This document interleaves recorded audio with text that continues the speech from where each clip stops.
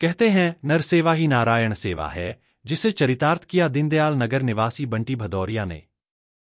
उन्होंने अपने बेटे कृष्णा भदौरिया के जन्मदिन के अवसर पर स्वर्ग सदन पहुंचकर असहाय लोगों को भोजन कराया और बेटे का जन्मदिन मनाया। इस अवसर पर वरिष्ठ समाजसेवी अरविंद तिवारी ने कृष्णा भदौरिया को उज्जवल भविष्य का आशीर्वाद प्रदान किया।